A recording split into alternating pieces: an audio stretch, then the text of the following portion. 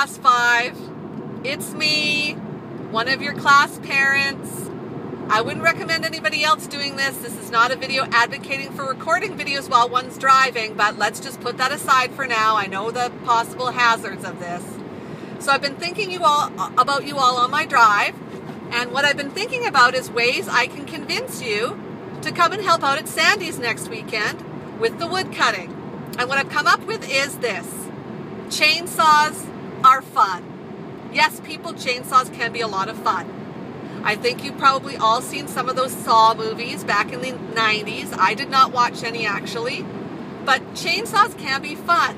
Hanging out together using chainsaws can be fun. Cutting down trees can be fun. All those things can be fun. So, I'm hoping you will join us next weekend and sign up on the Sign Up Genius to do some fun little thing like bring a truck to Holloway Wood, you know, loan out a chainsaw. I'll be making food with Jen. You'll love our food because it's good. Somebody else is making food too.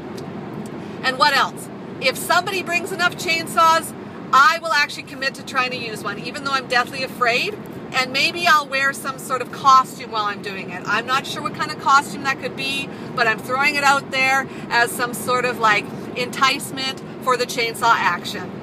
That's all I have to say for today. Thank you and bye for now.